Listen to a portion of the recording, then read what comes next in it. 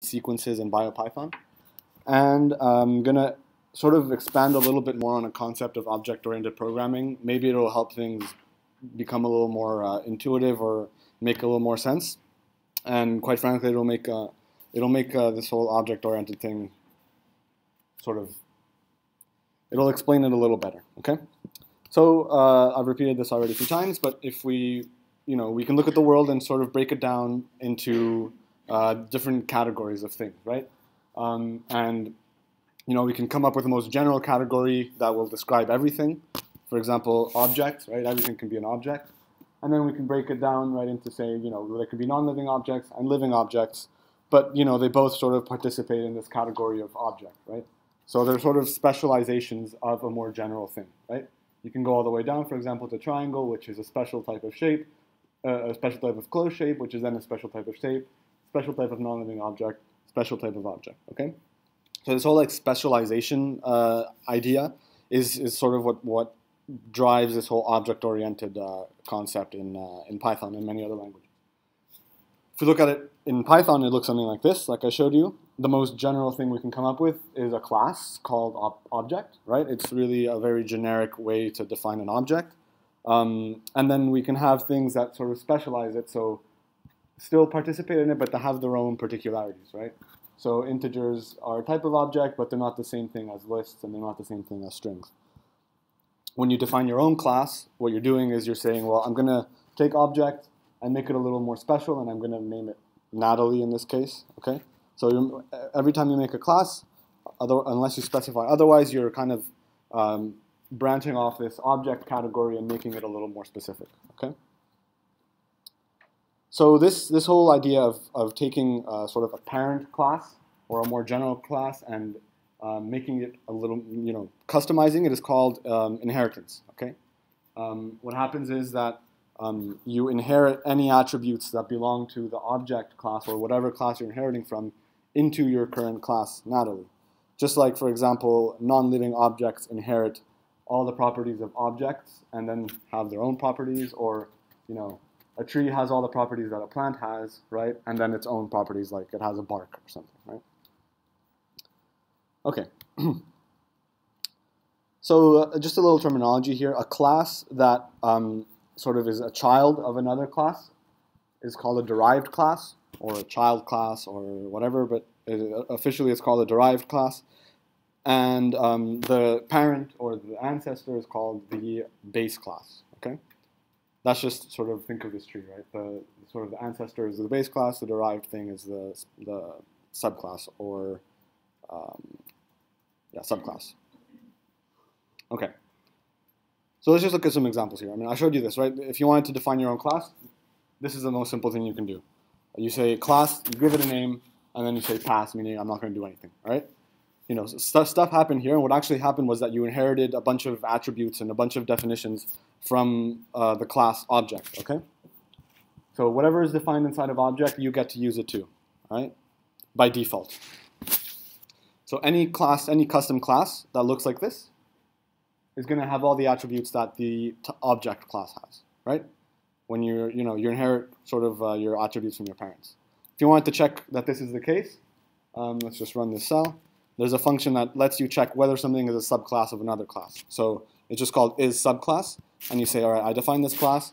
I want to know if it's a subclass of the object class, okay? I hit enter and it tells me true, all right? If I went the other way around, I would get false, okay?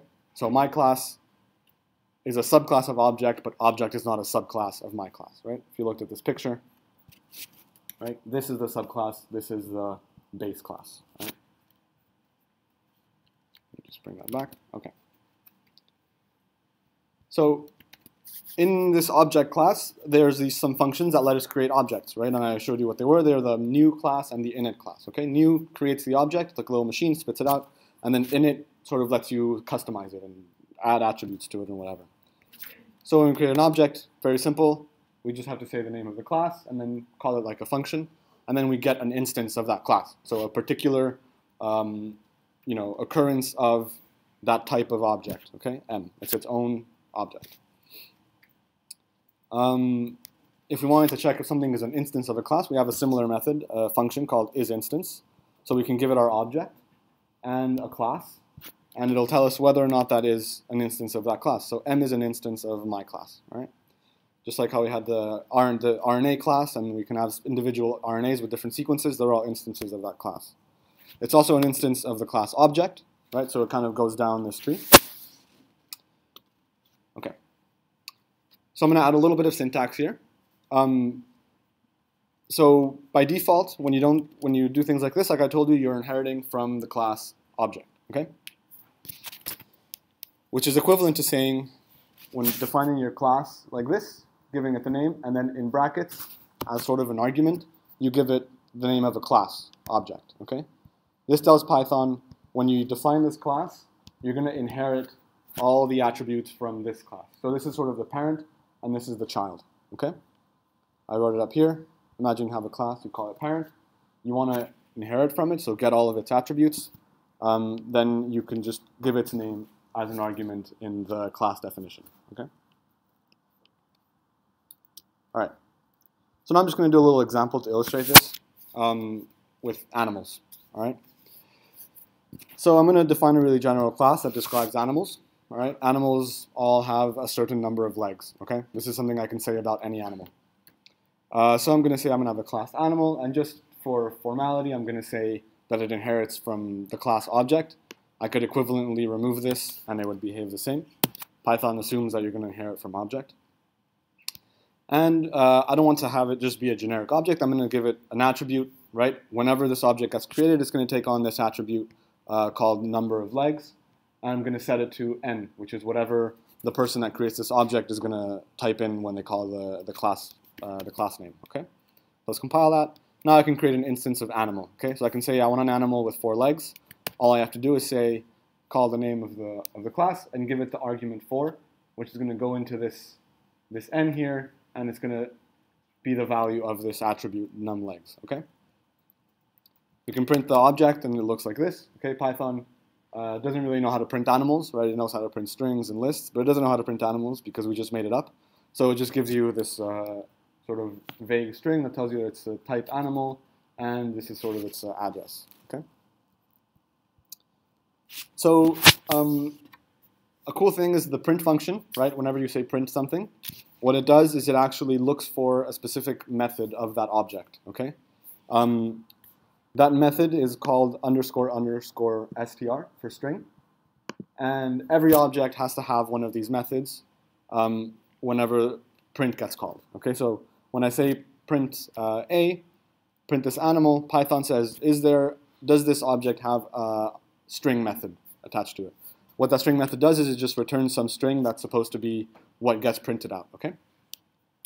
And because we inherited from object, um, right, we inherited from object, object has its own definition of string, okay? And what it does is it prints out something like this, okay?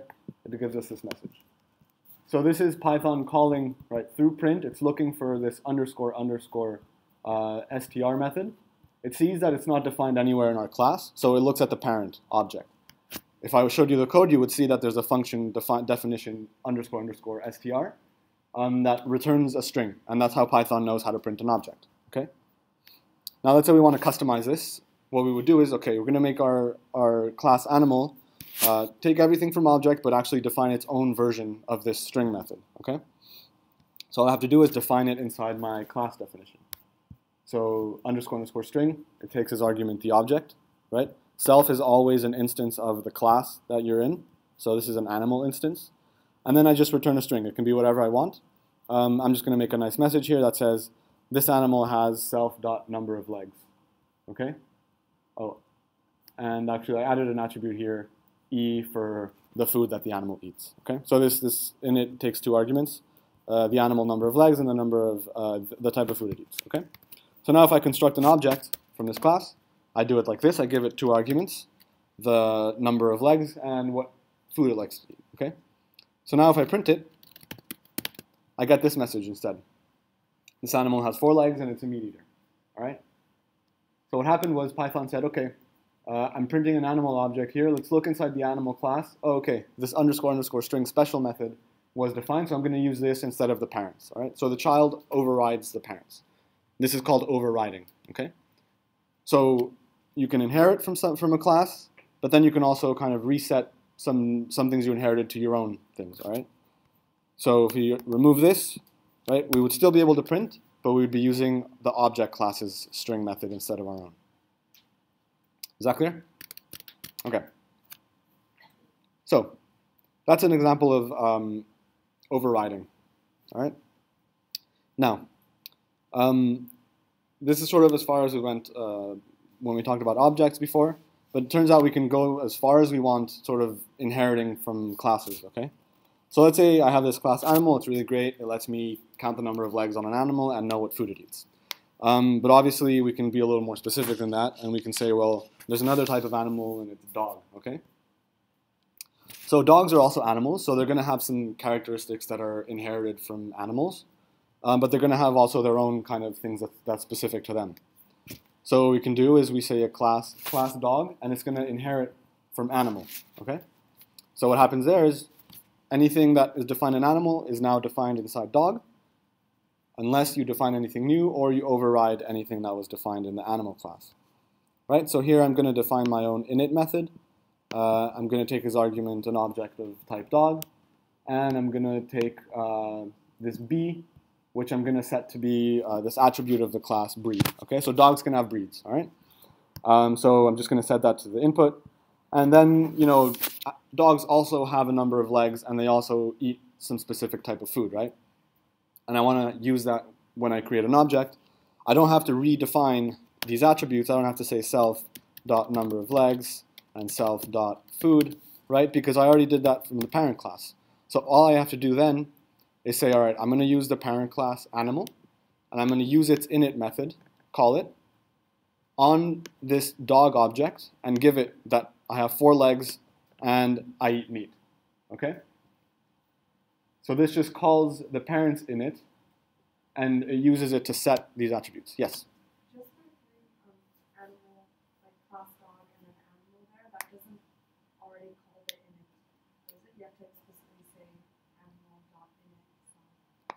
Yes. Here I'm, I'm really just accessing a method from a class. Okay?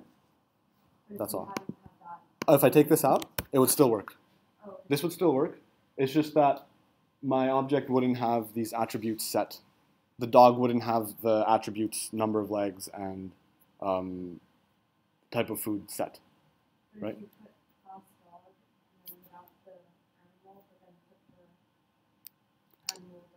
This? Yeah. Yeah, exactly. So what this is doing is when I construct a dog object, I'm going to call the animals method for initializing and set its set these attributes for it. It's just telling it how to initialize. Yeah, if you don't do it, you're not going to have these attributes, basically. You would have to do them yourself. I, sorry, I just yeah. like the, at the top, like here. The, yeah, there. Yeah. Well? Right now, no. Actually, that's a good point. Right now, you would still be able to access you'd still be able to do this. Yeah, that's a good point.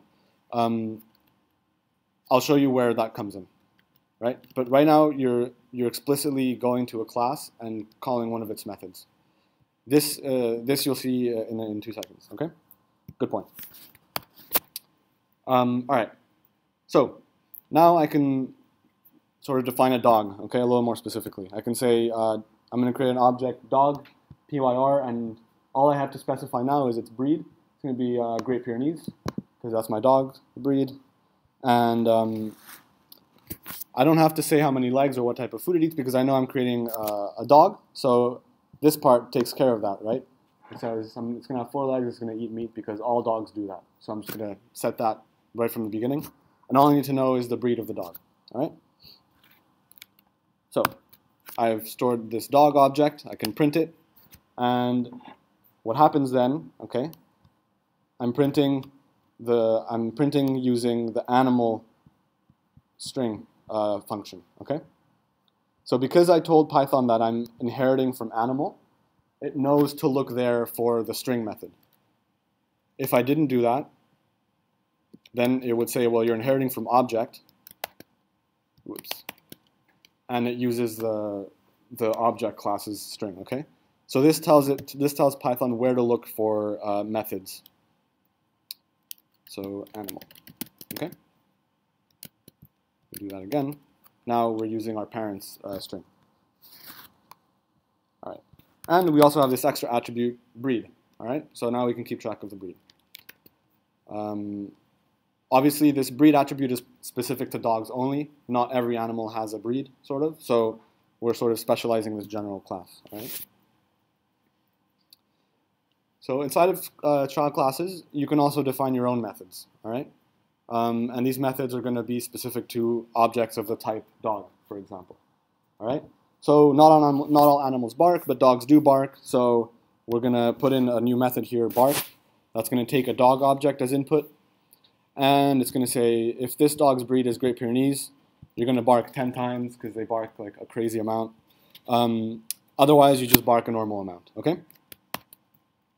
So uh, it's going to create this dog. All right, we call the bark method on this dog who happens to be a Great Pyrenees, and it's going to bark a bunch of times and really loud. Um, if I make another dog, it's going to, you know, it's going to know the difference now. Okay. So this is a method that acts on dog object because it's defined inside the dog class. Okay. But if I were, for example, to create an animal object um, and try to make it bark, it's not going to bark because animals don't bark, right? It's really just this special object that inherited from the animal class that can do that. All right? And we can keep sort of uh, customizing things and passing them down from our parents in a nice way. So for example, um, we saw this uh, print message right from, from uh, the parent class, which uh, says like this animal has four legs and is a meat eater. So that's kind of how we define that we want this object to be printed. And because we're printing a dog, the dog doesn't have its own string method. So it looks at the parent, and we look at the parent, and it has, oh, it has a string method, so we use that one, okay? But let's say we want to sort of customize our, our string method a little more inside of our dog class. Well, we could do that too. So we've got our initialization, we've got our bark method that we've done. So we can take our string again and, and define it, and we can use, uh, we can sort of combine it with the animal string method and our own. So we can say animal dot underscore underscore string. So that's going to return this string that tells us how many legs and um, uh, what type of food it eats. And we can add to it uh, some information about this special child object, right? Which in this case will be this dog breed, okay? So I'm going to initialize my dog here again, and I'm going to print it. So now I have, this animal has four legs and is a meat eater because we're accessing the animal class's string method. And um, it's also um, a Pyrenees dog, okay? All right, and we can also have several uh, classes that inherit from the same one, obviously. So let's say if we wanted a cat, well, we can also have cat inherit from animal, and you know it'll use the animal's initialization method, and it'll also uh, I don't know have its own thing like color. I don't know cat breeds, but I know them by color, so these ones get color. Okay, so now we have something that looks sort of like this. You know, we have object, which is the most general class. And when we create animal, we inherit uh, attributes from object like the initialization, the string, all these things. That lets us create animal objects. And if we want to sort of subtype these things, we can make a dog that inherits from animal, and we can make a cat that inherits from animal. Okay. Let me just take it one more step further. Uh, let's say we want a specific dog in particular. Okay. So you know, the dog describe dogs in general, like in terms of a breed, but you know, I have my own dog and he has a name, so we're going to have a class uh, for that. So a class of specific dog, okay? So this is now a specialization of the dog class, right? Which is a specialization of the animal class. So we can just say, all right, I'm going to initialize here with a name and a breed, because when I create a dog, I need to know its name and its breed.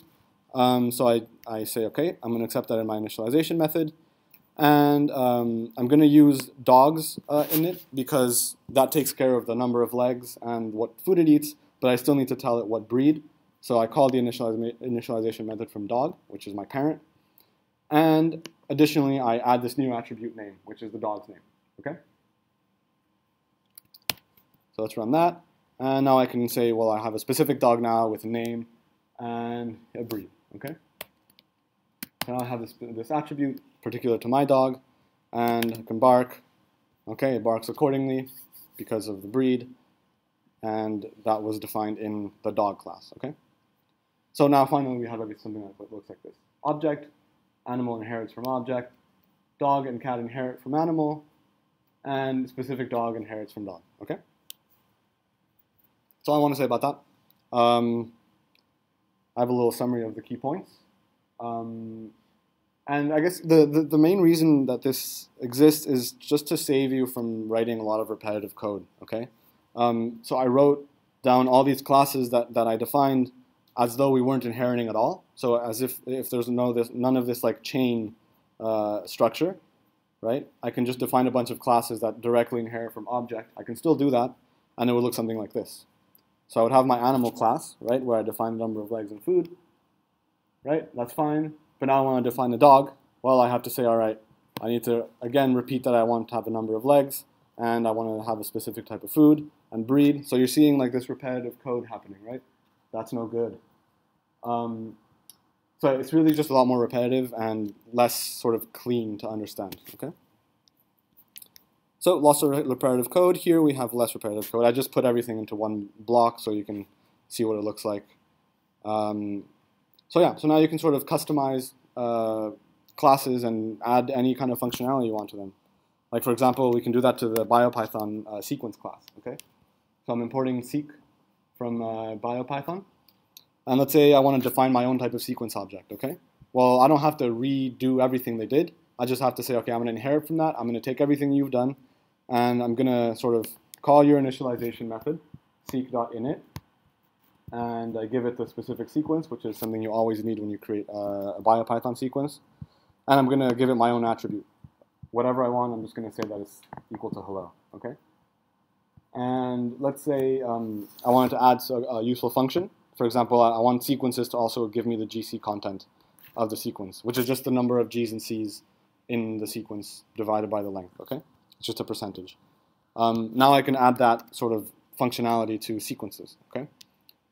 So I can start off an object, s equals my seq, I give it a sequence, and now I have all the functionality that, that BioPython defined for me. For example, I can transcribe it, right? But now I also have my own attribute that I added to it, hello. And I also have this new method that it can do that uh, I defined, okay? Is that, is that fine?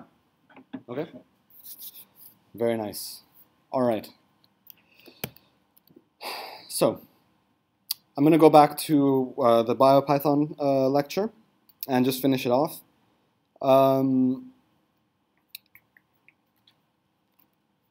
so, yeah. This stuff is, is cool and useful, um, but I would say just um, I would just not too not worry too much about the specifics. Like it's really just teaching you how to look up documentation and know that there's a bunch of these functionalities you can use. Um, obviously, we're not going to ask you to memorize every sub function and module that there is in BioPython. Um, obviously, you know main ones are good to know offhand, and um, it's really just to practice, you know, Python, and um, so yeah, and it's a lot of information, but it's really just a demonstration more than anything. Um, if there's anything specific that we want you to use, we'll tell you, like, this is how this works, use it, okay? Again, also, we're not testing on the biology here either. It's not a biology class. It's just, an, it's just sort of the background, so don't worry too much about the, about the other stuff, just really focus on the Python. So, okay, I'm, i I, think we left off on uh, sequence record objects.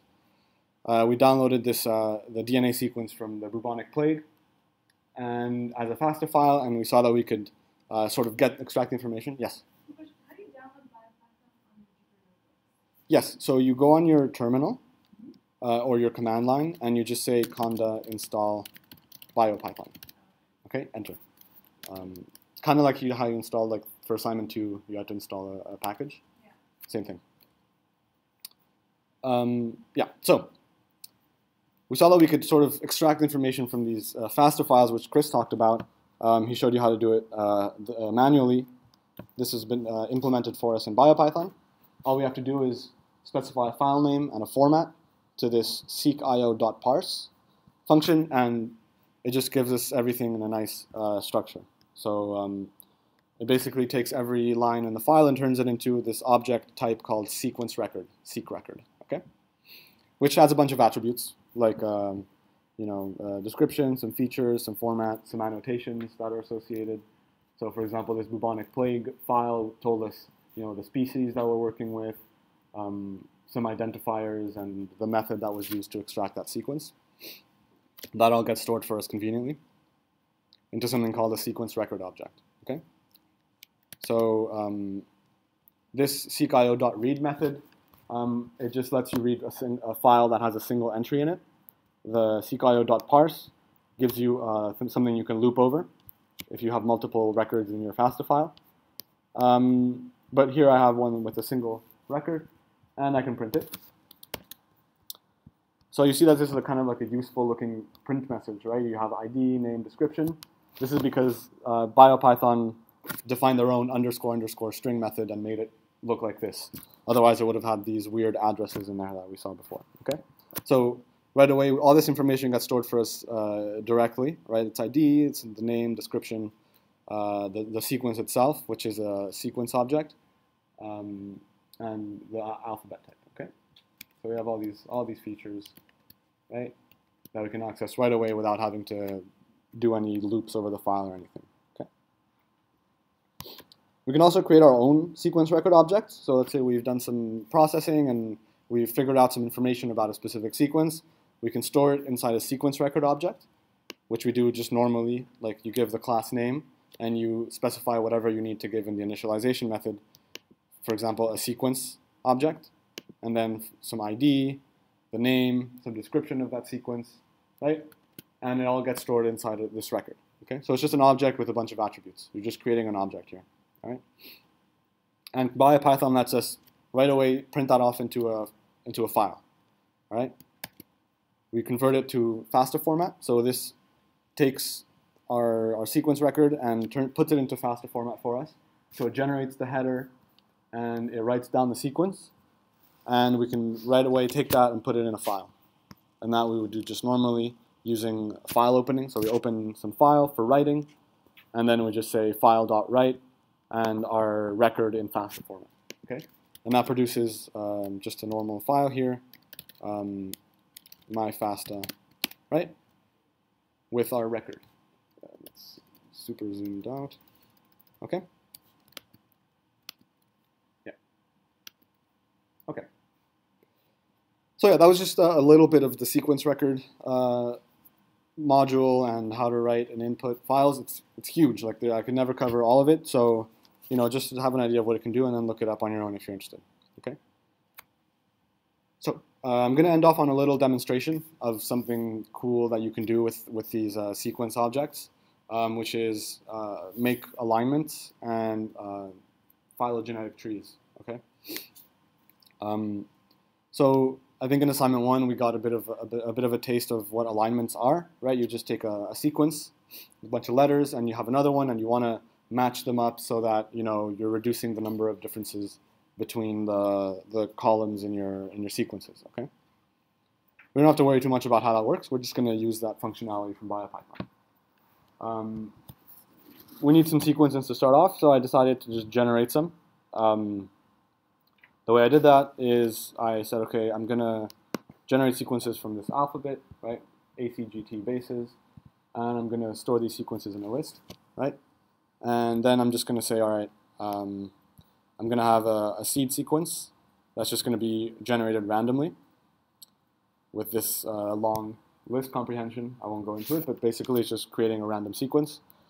And then um, I'm appending uh, sequence record objects to this list by creating a sequence randomly and, and mutating it just so that they're not all the same sequence, right? That's all done here. Um, this just generates uh, a, a, random string with some mutations in it, okay? Kind of like what you have to do for the assignment.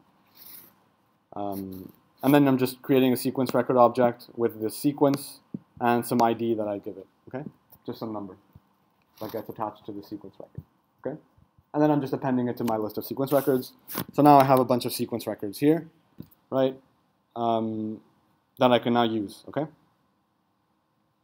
So we want to, at the end of the day, build this uh, phylogenetic tree that's going to tell us, you know, how these sequences are related in evolutionary time or whatever. Um, and in order to do that, we need to have an alignment of these sequences, okay? And BioPython lets you handle all these uh, different formats and algorithms for aligning sequences. Um, I'm not going to go into them too much, but basically you usually need a FASTA file with the sequences that you want to align.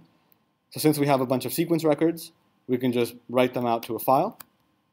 All right, basically in one line. We use the sequence IO method write, and we give it our list of sequence records.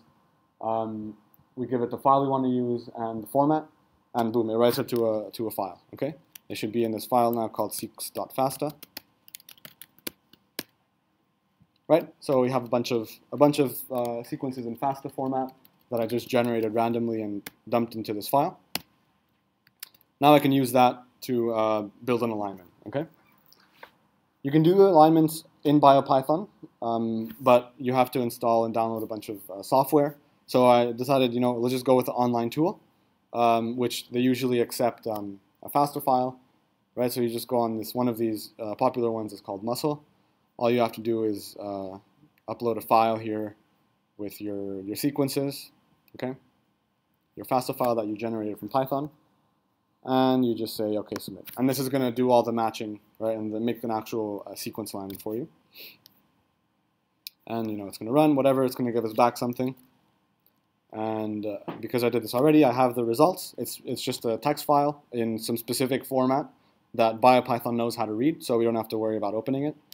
Um, and basically, there's a module in BioPython that deals with alignments, okay? So there's a bunch of different formats, a bunch of different algorithms for alignments. BioPython lets you sort of write them and parse them and do all sorts of stuff with them. Uh, I'm not going into too much detail. All we want to do is read the output from this uh, this alignment server, right? Okay, so here's our alignment, right? So we can take that and build some sort of phylogeny. Okay, so now we have uh, we have this alignment stored from the read method, which reads our alignment file that we just received. Um, and now we can use that to build a, a tree, okay? And basically, um, how these phylogenetic trees work um, is kind of nice. All you need is to know how different every sequence is, okay? So you have 10 sequences, you look at every pair of sequences and you say, well, this one is five nucleotides away from that one, and this one's three, and this one's four. You have a pair, all these pairs of sequences, and from that you can build, you can infer what the evolution of that group of sequences was, okay? So in order to get there, you need this uh, thing called a, dis a, distance matrix, which is really just um, taken care for you by taken care of for you by BioPython um, you, you use this distance calculator method. Um, you give it an alignment that we computed earlier, and from that it says this sequence is five points different from this one, right? So you have something that looks like a matrix, right? Uh, you know, these are all pairs of sequences, and the numbers in, in the matrix would be uh, differences between them, okay? So not worry too much about them. But yeah, so this is really just a number of comparing how, how similar two sequences are, okay? And from that, we have this cool method called uh, tree construct, uh, distance tree constructor, okay? Again, we just import it from BioPython, and it needs this matrix to build its tree. So what, what we need to do is initialize an object of type distance tree constructor, which takes a specific um, calculator, which we defined up here. Let me see.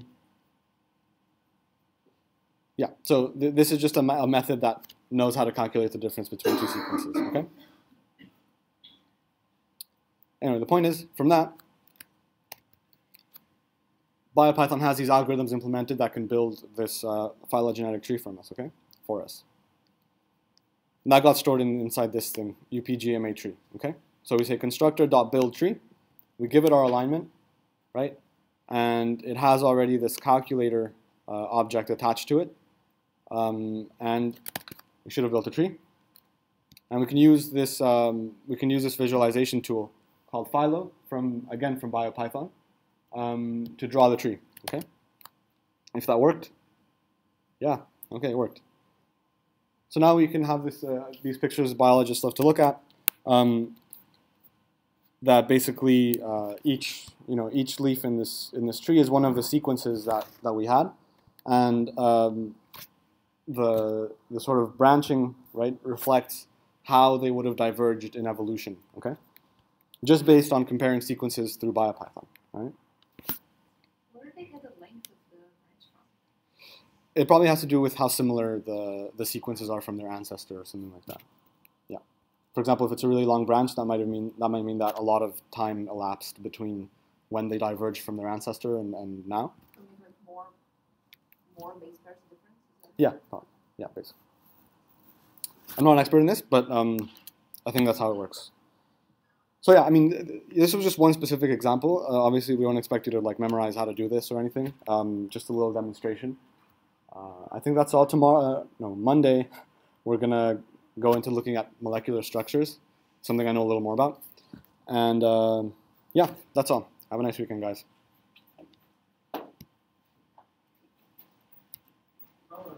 Yeah.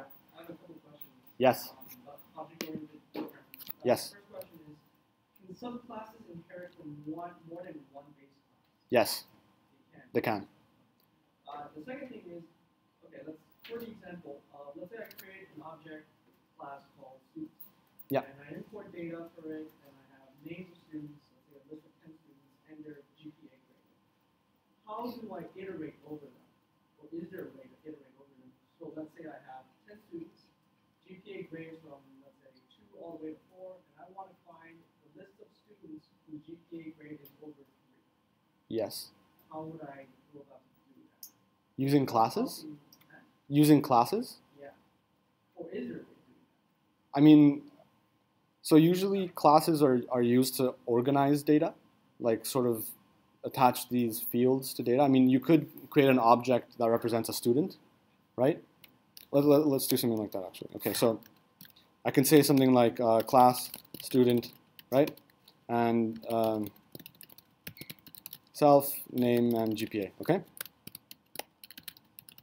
Equals name, self.gpa equals GPA. Okay, so this is just going to define an object that describes students, okay?